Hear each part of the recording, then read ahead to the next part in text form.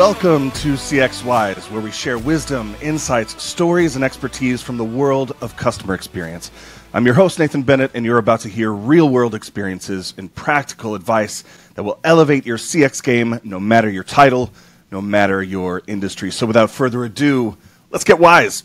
My guest today is Jay Baer, a digital pioneer and a true maven of customer experience and business strategy. He is a Hall of Fame keynote speaker and the author of seven New York Times bestsellers, all focused on marketing and customer experience. With an entrepreneurial spirit running through his blood for seven generations, Jay has founded five multi million dollar companies. His wisdom has been sought after by over 700 brands, including Nike, Oracle, IBM, and the United Nations. Jay is also a certified barbecue judge, and during his leisure moments, he reigns as one of the most popular tequila influencers on the planet. Welcome to CX Wise, Jay. I hope we embarrassed you enough. Fantastic, Nate. Great to be here. Thanks so much. Looking forward to this uh, conversation.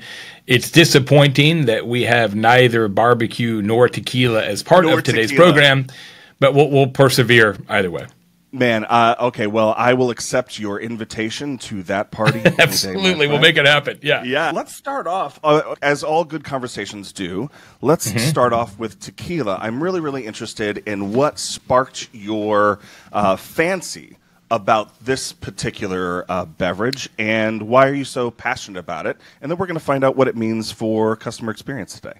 It was sort of accidental. I'm from Arizona originally. I spent the first 40 years of my life there before I moved to the Midwest. And when I was a, a younger person in my 20s, before I had kids, my good friend Tom and I would go each Wednesday to a restaurant in Scottsdale. I believe it's still there called Los Sombreros. And there was a, a bartender there, his name was Steve. And, and Wednesdays were a slow night. So Tom and I would just sit at the bar and get tacos.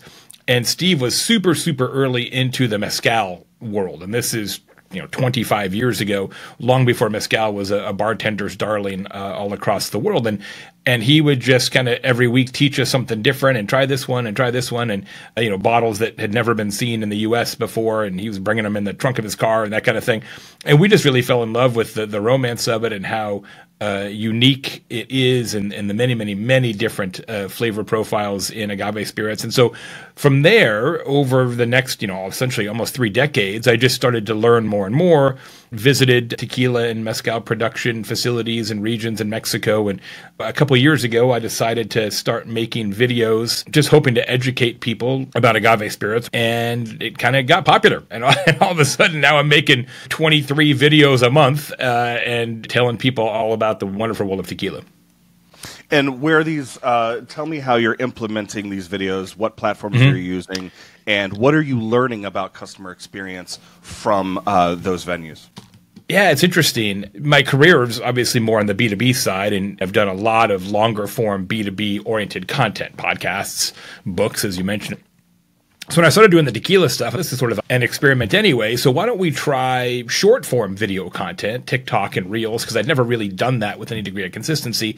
And so I said, well, let's just see how that works. And it's very, very different, very consumer oriented, very short form content window is much different than how would you produce a podcast, for example. So learned a lot of lessons there. It's and it's actually been good because tequila brands are mostly on Instagram, more and more over time on TikTok. And you're finding quite a bit of success doing what you're doing in those short forms, like on Reels and on TikTok. Yeah. So I'm wondering what your advice would be for a B2B, let's say a CMO who mm-hmm. wants to have that kind of presence a- as part of their social media strategy, but yeah. they're not convinced that these short form platforms like a TikTok or Reels or something like that are valuable and they shouldn't really invest resources into that medium. What would you say to that? I think the common concern about, say, TikTok or, or even at maybe a little bit of a lesser degree reels is that the audience is sort of too young to be a viable b2b uh, addressable audience. And that's just not really true. And it's becomes literally less true every day I mean, every social network in the history of social networks started with youth. Twitter did the same thing. Facebook obviously famously started on college campuses. Instagram the same. Even LinkedIn was more popular amongst younger professionals because they understood the value of technology. So TikTok today uh, is still exhibiting explosive growth, and the fastest growing group on TikTok are people 40 plus. And so once you kind of get past the demographic um, concerns, the question becomes well, if you're going to be there, what are you adding to the fabric of any social network that makes it worth the time of the audience to participate with you? The, the challenge that I see, especially for B2B in these more short form content opportunities, is that they tend to get sucked into this random acts of content problem where they're just sort of like firing off content bullets in the air hoping a bird flies by simultaneously when and every day is like a totally different thing. When, when i owned my consulting firm we used to train brands on this premise of thinking like a television network right? So hgtv's got a bunch of shows on that channel but they're all about H's and G's, right? It's all about homes and gardens. And it's not like, hey, on the HGTV channel, we're going to have a documentary about feudal Japan. It's like, that's weird. That's super random. They've got a consistent, okay, on Tuesday nights, this show is on. And on Wednesday nights, this show is on. And that's the best way to think about social content especially short form for B2B, is like you are producing an episodic content show that needs to have a consistent point of view, a consistent cast of characters, and a consistent rationale for existing. And I think one of the one of the mistakes that folks can fall into when they think about a strategy for social media is well we have to be able to explain everything we do in right. 60 right. And one of the things that I love that you do with your platform, specifically about tequila, is you make each one informative. You've kind of created a user friendly environment too, because if I want to find out about a specific bottle that I'm thinking yeah. about, I can easily find it's probably been reviewed by you. Yeah, it's actually a bit of a challenge in TikTok Reels and those kind of short form places because you don't easily have a home base, right? It's not like you've got a website or a searchable directory of podcast episodes you know, it's a little ephemeral, right? And to that end, what we recently have done is published just a Google Doc that we update every day, tequilascores.com. And that doc is everything we've ever reviewed and what score we gave it. Because I was consistently getting messages from people saying, Have you reviewed Milagro Reposado? I was like, Yeah, scroll back and find that video. But if you're going to look at the thumbnail right. art to find the one that I did 14 months ago, it's just a really bad customer experience. So while it costs us a lot of video views to do it this way, from a CX perspective, it's much better for the audience to be like, look, we just put them all right here for you, and that'll be easier. No, very, very smart. And one of the things I want to mention is your latest book, The Time to Win. You talk a lot about speed and how speed shows care for the customers. Mm-hmm. I wonder if you could unpack that in a B2B sense. I did a huge research project on this before I wrote the book. So it doesn't matter if you're B2B or B2C. If you give your customers time, they will give you money. And if you cost your customers time, it will cost you money. It's because today, as you mentioned, we interpret responsiveness as respect. It's it's just sort of modern humanity, at least in the West, that that when a business responds to you more quickly, we internalize that as they care about us and our money and our happiness more. Ipso facto, we want to work with those people. Two thirds of customers now say that speed is as important as price. And I think when we have our customer hat on, we know that to be true. But very few businesses operate as if it were true. What I'm suggesting is that all businesses should elevate speed on their list of priorities because their customers already have. And on the B2B side, it's even more important because typically the average dollar value of a B2B customer is typically higher than the average dollar value of a B2C customer. Therefore, when you lose business because you weren't fast enough, the revenue implications for that can be quite significant. 50% of all customers will hire whomever contacts them first, regardless of price. Knowing that, wouldn't you just want to engineer your business to be first all the time? Seems like that would be a good idea. But when it comes to B2B, one of the bigger implications, even more so than just being fast, is to have a culture of responsiveness throughout the totality of the customer journey because 85% of customers now say that speed and responsiveness is a critical factor in their brand loyalty. So it's not just enough to be fast at the initial purchase. You've got to be fast all the time in every circumstance because eventually every customer is going to say, Should I rebuy from those guys? Everybody has to revalidate the purchase at some point.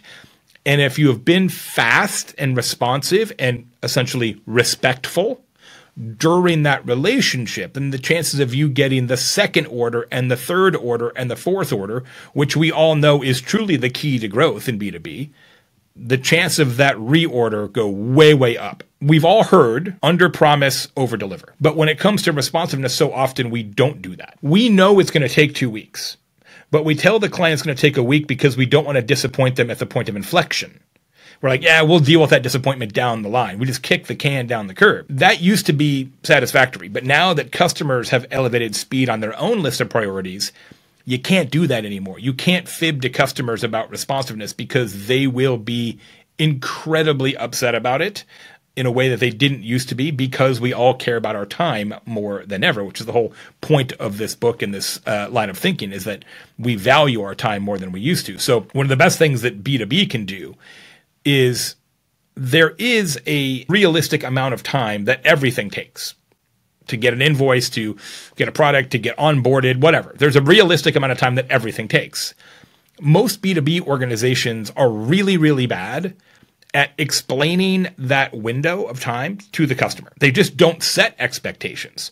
So if you never set expectations, it is really, really difficult to exceed them. And if you don't tell a customer that this is going to take this long, we live in a culture now where left to their own devices, customers will assume everything can happen instantly. They will just assume that it can happen instantly unless you explain to them that's not the case and importantly why that's the case. So most organizations would really benefit from some additional work around expectation setting, timeline communication and buttressing that with some explanations around well why does it take 5 days? What happens during those 5 days? Are you actually doing things that add value to me as a customer? What you just explained sounds like a conversation that i have repeatedly with my two and a half year old son.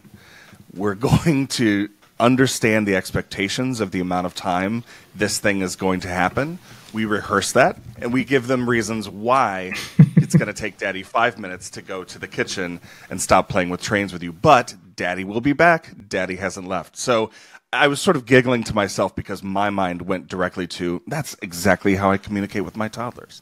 Yeah, you can be a very successful business and not be super fast as long as the customers understand that right? As long as everybody is on the same page. I call that the uncertainty gap. The uncertainty gap is the difference between what you know about your business and your operations and what the customer knows. And we are in a world now where uncertainty gaps are being closed all the time, right? Uncertainty gaps are going away. You and I are old enough to remember before Uber and Lyft, where to get transportation, you would have to telephone a taxi like yeah. use a payphone. You have to have a quarter and use a payphone to call a taxi. And and every taxi cab is two two two two two two two, right? Same number. Right. And you're just like two two two two two two. And this guy's like, just keep pressing two. And then this is Lou.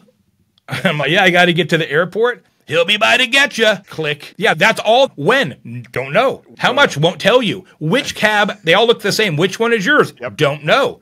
No information. Now, of course, you've got like blood type and ancestry.com, you know, on the driver and you see an animation of the car. You know, it, there's no uncertainty, right? And so this is happening in every industry. And, and it's really smart to audit your own communication with your customers, especially once they've signed on in B2B in particular, and say, okay, where are what I call the information asynchronies, right? Information where we know more than they know. And how do we even that out? Because when people don't know what's going on, it creates a ton of anxiety. I mean, think about like I had to call my mobile phone company the other day, which I don't recommend. And Luckily, though, they're like, "Hey, you know, we answer calls in the order that they're received." To which I always think, "What other what other plan would you use?" it always confuses me. Like, why do we need to say that? Isn't that sort of inferred? So, if you estimated a hold time is 11 minutes, First of all, if you pick up in 10 minutes, you're like doing cartwheels, right? Because they've exceeded expectations and they've right. set expectations, right? But if they don't tell you it's 11 minutes, you're like, we're going to get to you eventually. Even if it's 10 minutes, it feels like an hour. And that's the psychological power of the uncertainty gap, which you've got to get rid of. It's so funny, too, that you talked about it causes us anxiety because even as you're talking through your example about this cab, having been in that years and years and years ago, I started feeling anxiety just you telling me about it because I was like, mm-hmm. oh my gosh, I remember those days of just like not knowing. Those times when you like had to get to the airport and you just didn't know when your car was going to arrive. Yeah. Do I have enough money? Yeah, you have no idea. No idea. Yeah. Psychologically damaging. But here we are. We've we fought that, through. Here we are. And one of the things I want to call attention to too is that it's not just about the speed and the responsiveness of the response.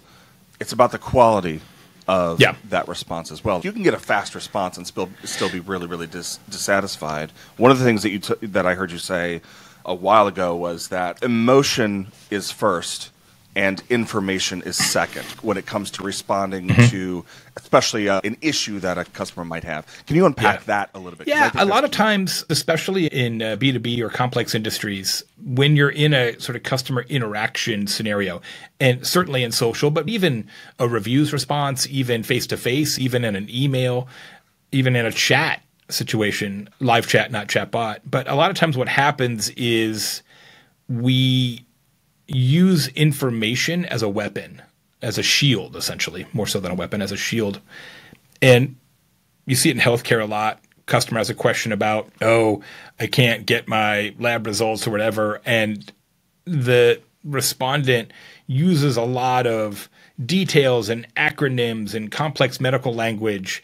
And, and they sort of throw up this whole smokescreen of, of intelligence and it's very detailed and that's not what the customer is looking for, right? And in most cases, they don't actually want information, they want empathy. And so you can give them information, but you should always lead with empathy. In many cases, especially when they've got some sort of dismay, customers aren't looking for details. They just want you to say, oh, that sucks, we're sorry. And I think we overcomplicate it sometimes. But the best social customer care are human beings treating human beings like human beings. That's it, right? How would you deal with this person if they were sitting in your living room? Now, how can you do that digitally? That's really the assignment. And being able to do that at scale can be difficult, I understand. But sometimes we fall back into our lexicon, and that doesn't usually yield the desired outcome. I love that, by the way. And that kind of pivots into something else I want your viewpoint on. We talk about the humanity, the humanity, the humanity the need for that human approach, human touch of empathy, which I totally agree with. However, as you well know, we're moving into a world where AI is being used more and more and more. So, one of the other things that our State of Social Media report in uh, 2024 discovered that 70% of marketers in the US want to improve customer engagement and satisfaction. They want to do it using AI in the next six months. So, how are we marrying those two things with using AI to increase our customer satisfaction engagement and still bring the humanity? Yeah, my read on that is one of the ways you demonstrate humanity is with specificity, is by saying, I'm not going to treat you as one of a million customers. I'm going to treat you as one of one. I think it's funny. The word customers has the word custom inside of it. Yet so often we treat everybody the same. Isn't that ironic? So I think we should come up with a different word. Uh, one of the things yeah. that I think AI is fantastic for, especially in Sprinklr's platform, because I've seen it work where it's really built into. It's not like you go over here to get yourself some AI, right? It's really built into every action, which is the way it should be, in my estimation. Right. It, what it allows you to do is use generative AI tools to deliver messages to customers that feel hyper relevant and hyper specific. And to me, that is a big part of humanity. Treat me like you actually know what I've bought from you and our relationship and what I need and where I've been. And in some cases, it's easier, faster, frankly, better to have AI spin that up than have a human go back, look through all the account history, and then conjure it from scratch. Certainly at scale, that's not really possible. So to me, the, the opportunity there is, is to use AI, not necessarily for for what we think of from a language standpoint, because it's sometimes difficult to train AI to to have that tone. But to use AI to make it feel to every customer the way that they're the only customer you have, to me, that's the use case. Hmm. I, I, love that too, and it kind of brings to mind uh, one of the things that I wanted to ask you about. I love this term that I don't know if you coined it, but I love it, so I'm just going to attribute it to you borderline personalization disorder. So, how do we maintain the custom in customer without yeah. stepping over those boundaries and falling into that trap? The tricky part is that consumers today are pretty suspicious and probably rightfully so, and they can see pretty easily the stitching in the sofa cushion, right? They're like, "Oh yeah, that that is definitely a bot." Now, here's the good news though. When it comes to borderline personalization disorder, which is not mine, but I love it. The whole premise of AI is that it gets better over time. AI doesn't get worse. It doesn't work like that. Right. It by definition gets better. So are there going to be some awkward moments? For sure. Are there going to be some things that you use AI for that actually make it worse, not better? Definitely. But the same is true of Twitter now X. The same is true of YouTube. I mean, you don't make omelets without breaking eggs. Like it ain't to happen, right? So if your stated goal is we want to use AI to make our customers love us more with no collateral damage, you are crazy. It ain't to happen. So no technology improves the lives of customers and businesses without some challenges along the way. Like who in the world has never had a frustrating chatbot experience. I've used chatbots where I'm like, this was not only a waste of time, but I now have a bigger problem than I had before, right? so I think that's true for almost everybody. Yet, on the whole, it's probably better for customers because you can get easy questions answered. It skims the cream off from the service team to handle more complex cases, all the things that we know to be true. So, is it perfect? Nope. But is it on the whole better? Yes. And that's the way I think you have to evaluate it. I want to pivot and talk about one of my favorite concepts that Jay Baer has brought to the forefront of Uh-oh. customer experience, and that is talk triggers. Mm-hmm. I am obsessed with this idea as a marketer and a brander. They're often small little details that a brand or a company gives to their customers that just sort of surprises and delights those customers so much so that they'll go and talk about it. They'll share it. It's word yeah. of mouth. It's often sort of free advertising. You've talked about the gigantic menu at Cheesecake Factory. Mm-hmm. You've talked about the little cookies at Doubletree Hotels. Can you unpack your talk triggers a little bit more, better than I did, and then talk about how brands can incorporate those things especially brands who maybe aren't a restaurant or maybe aren't yeah. in the hospitality industry, sure. like a B2B brand. How do we bring those things to the forefront? The best way to grow any business is for your customers to do it for you. This has always been true. This is still true today.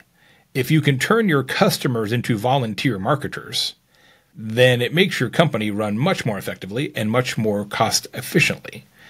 Everybody, I think, understands that word of mouth is important. I don't get a lot of argument on that point. But if you believe that word of mouth is important, referrals are important, inbound leads are important that come from current customers, what exactly is your strategy for creating those conversations? And the reality, Nate, is that there is none. John Jantsch did a study on this and found that fewer than 1% of all businesses have an actual word of mouth strategy. Isn't that crazy? Because you got a strategy for everything else. You have a social media strategy, you got a CX strategy, you got a PR strategy, you got a hiring strategy, you got a ESG strategy, you got a whole shelf full of strategies. The one that you don't have is the one that's arguably the most important of all, which is what do people say about you and to whom? We just take it for granted.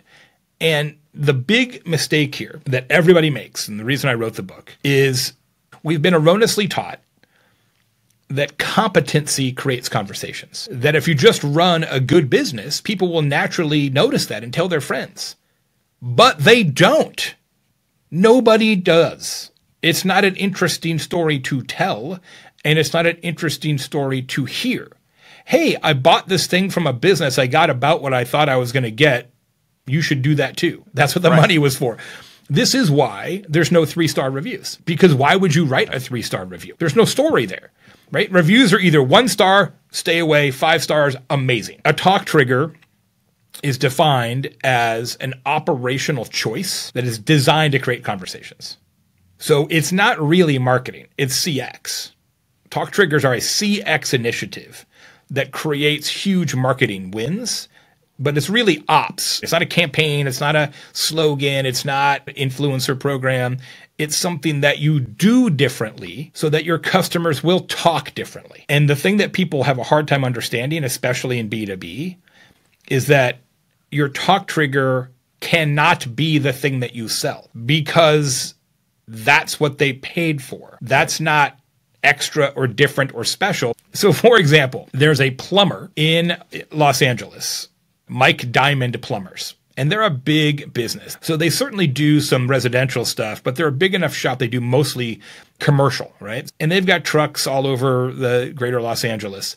They have a talk trigger. And the talk trigger is not clear your drains or we'll install better toilets in your office building, because that's what plumbers do. No one's going to tell a story about that. On the trucks and actually on the work shirts of every plumber, it says Mike Diamond Plumbers, the smell good plumbers have a house cologne. It's unisex, male or female, wears. And they keep their trucks really tidy and they've got like incense in their toolbox and the whole thing. And if you look at their reviews, first of all, they have an unbelievable number of reviews for a plumber. And second of all, almost all the reviews say, yeah, he really did smell good. That was amazing, right? like that's a story you're going to tell right? You're not going to tell a story of drain clogged, drained, unclogged because there's no drama there. But I'm like, Nate, I got a plumber today. You won't believe it. They've got their own cologne. It was gorgeous. Yeah. Selling it on their website, the whole thing. It's genius, right? It's an operational choice designed to create conversations. That's it. Because you know they're also battling a perception. Of course, they're battling a perception of listen. You know this particular person is a plumber. They work with a lot of stinky things. They're in often stinky situations. Yeah. I have a picture, a cartoon picture of what a plumber is when they come to my house or mm-hmm. my place of business, and they're fighting against that in the most brilliant way. That's just so smart. Yeah, I mean, and look, every any business can do it. There is no special sauce required all you have to do is understand and appreciate the power of word of mouth, then come up with something that people will talk about. We we kind of give you a whole process for how to do that in the book, and then stick to it. That's it. You just have to want to do it, come up with something that makes sense, and then do it consistently. It's not that hard. Now, this- but people choose to not do it because they think, well, why would we? We're not in the cologne business. We're in the plumbing business. So they get so wrapped around the axle about we can't talk about things that aren't our products or services.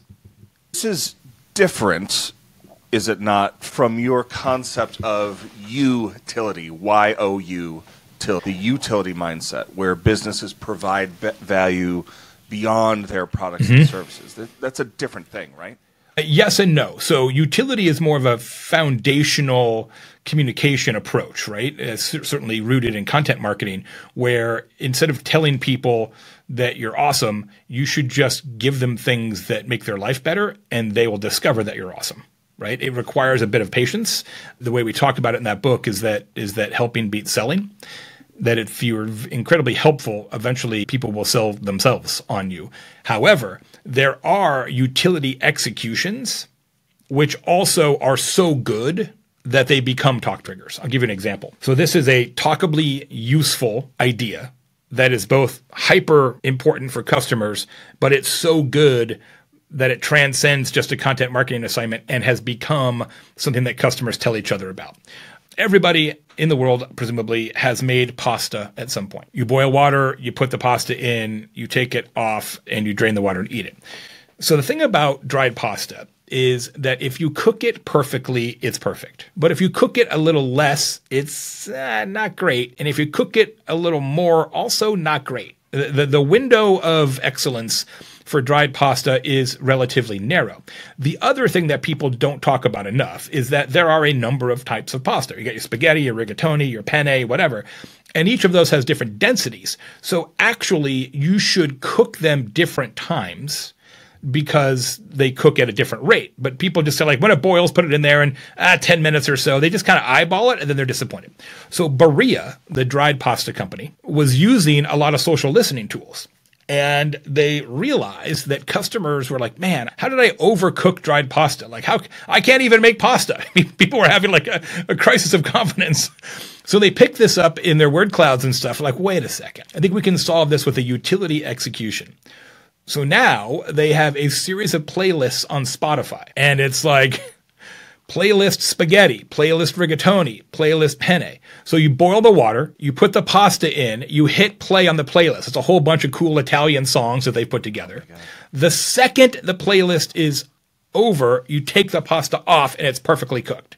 And they've got different playlists for each type of pasta that they make and they've got hundreds of thousands of plays on each of these playlists. Now they talk about it on their packaging as well, and they direct people to the Spotify playlist to make oh, sure they cook it perfectly. Like, isn't it great? So use social media, find a problem, solve the problem with useful content, but the content is so useful and so novel that then it becomes a word of mouth generator. Man, I that is so smart. I love that. And that makes me want to go check them out that's one of those things that like I don't really care which kind of pasta I get at the grocery store. I'm usually going to get whatever's cheapest or whatever my hand reaches for. But that might make me stop and go, wait a second. I like what they're doing. What they're doing is smart. I also want an interactive thing that I can yeah. participate in. So it hits me at all levels. I, I, I love that. It's so smart. So. I just always feel like, you know, customer experience is the best marketing.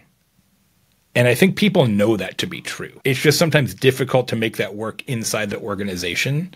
And if you're one of those people who are like, I want to do the kind of things that Jay's talking about, but I can't, keep at it, right? Eventually, people in your organization are going to understand the power of CX and marketing working together. And if they don't, find an organization that does, who values your opinions and your talents. I, I love that. And that, that brings to mind one of the quotes that I heard you say in an interview that I love. You said, "Where everyone owns a robot, the strategist is king." Yeah. And you were talking about how some organizations view customer service or customer experience as a cost rather than an investment. What are some words to the wise that you, from Jay Baer, that you could give to heads of these companies who are wrongly viewing customer experience as a cost rather than an investment? Well, I mean, ultimately, customers are making buying decisions largely on experience. Because what really is your product advantage or your service advantage or your price advantage? And even if you have one, it's not sustainable. I mean, having a better mousetrap and keeping that advantage is very, very difficult at, at, the true product level. Now, you may have a brand advantage, but that's very expensive to maintain. So ultimately, the easiest way to differentiate and the easiest way to outperform competitors is by having an experiential advantage. And it seems perhaps counterintuitive, but you teed it up nicely, Nate. AI is not going to be your differentiator. And this is the thing that I keep talking to people about right now. I'm like, they keep thinking, well, we're going to use AI, and and that's how we're going to be better than your than our competition. I'm like, no, you're not because they're going to have AI too. It's not like you've got proprietary AI or you're the only ones in your category who have thought about using AI. Everybody is going to have the same robots. AI is actually the opposite of a differentiator. It's a leveler. It's a commoditization of business, not a differentiator.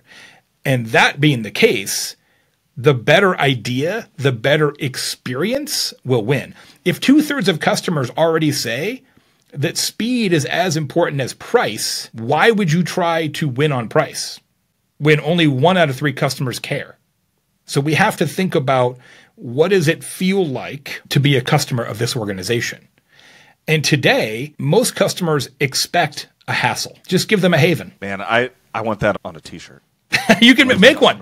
Make one. Man, Jay, that is a great place to end our conversation. You have made us all CX wiser. Before we sign off, I do want to tell our listeners we love to spread wisdom, the wisdom of our guests, especially at CX Wise. So if you have a takeaway from this conversation, post it to social media, tag us with hashtag CXWise, and we will send you a copy of Jay's latest book, The Time to Win How to Exceed Your Customers' Need for Speed. Jay Baer, thank you so much, my friend. It's always a pleasure. I really appreciate your time. My pleasure. Really enjoyed it. Thanks, everybody.